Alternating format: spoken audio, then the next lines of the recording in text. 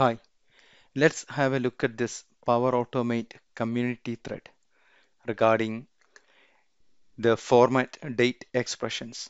So the user asking here is when um, the format expressions comes comes under the uh, loop because there is apply to each here um, can't see the value date. So how can we see the dynamic values under the expression? Okay, so there are a couple of things I have to discuss here. So if you are new to the Power Automate, um, there's, there is some setting here uh, which you probably won't be aware of. So if you look on the uh, settings, view all Power Automate settings, turn the experimental features on and save it. So that should reload your flow again, the page you are in. So that means that change is going to take in place. Uh, so this means you will get the latest features of the flows which are in preview also okay? Right so here uh, that's a list task. There is a loop here. So the question asked here is how can you set that format okay?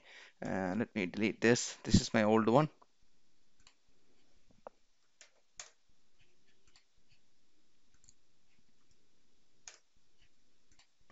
Right so how do you set this? Place your cursor here see that you can click on the function and start typing format datetime then um, you need to you need to see under that here and underneath you can see the list task so here you could search also what you're searching for. So you're searching for the due date see value due date. Just select that. So it's there. You're on the same screen. The user experience is very nice I would say. Then comma then yyyy y dash mm slash dd here it is. And then uh, you know press enter. Sorry don't don't press enter sorry. Uh, just click as uh, outside the um, the square box here under the expression. So here. So just clicked outside then it sets that. Same for here also. So you click on the if you want to see the dynamic content you can see it will straight away picks up there also.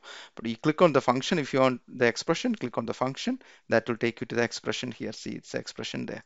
So then uh, here again I'm going to type format date time UTC now comma now here in this case I'm going to type my YMMDD and place your cursor just inside the apply to each anywhere oh, here we go. So that's been set now.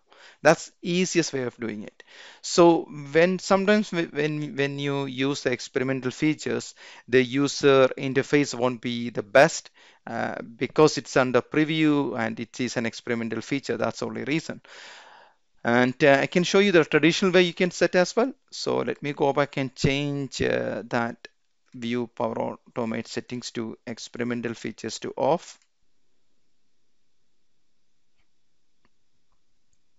okay so it's reloading again the interface.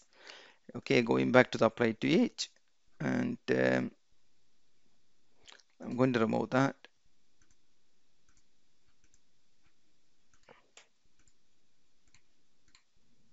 Right I removed both the expressions which we set earlier. Okay so now if I click on here I can see see all the dynamic content which is great. But the issue here is when I go to the expression and start typing format date time and uh, so it's two brackets I typed. Place the place the cursor inside there. Click on the dynamic content. I can't see that anymore. Because that's the nature of the apply to each it won't able to expose uh, uh, you know the dynamic properties under the loop. That's what happened here. So how can we do this? Okay there are different ways to do, do that uh, for the expressions. Um, to know the exact value how can we set uh, the the easiest way is add add a compose action step. Map the value which you are after um, you know for that expression. Then click here look for the peek code. That will review the dynamic mapping. See the apply to each. This is under the apply to each. That's why it's items apply to each all the way to that this one. So all you need to copy is the highlighted part. Items all the way up to that square square bracket. Press ctrl c done once it's done you know you don't need that you can delete that action step then going back here click on the expression type your expression which you want to use then the first thing we need to set is the dynamic variable.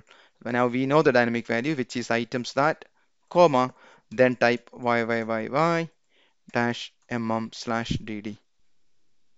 Here it is.